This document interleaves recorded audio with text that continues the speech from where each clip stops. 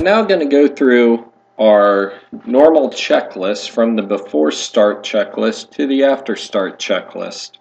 Due to time constraints, we are going to go through this briefly and again, once in ground school we will go through this in depth.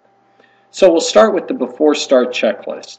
Cockpit prep complete, gear pins and covers removed, signs, we'll look up here and we see that they're on and auto. ADIRS,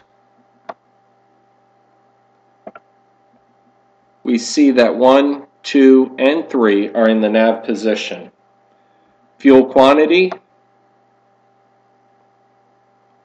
we look at our upper ECAM, we see that we have 7,590 kilos on board. Takeoff data, off of the captain's MCDU is set.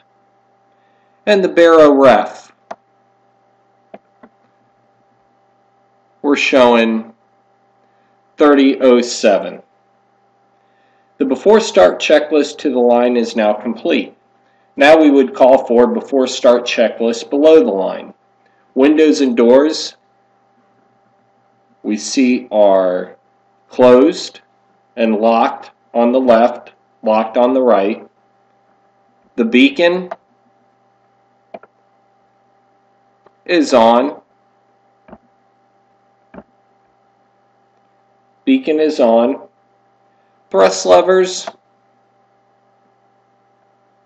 are idle. And the parking brake is set on. This concludes the before start checklist.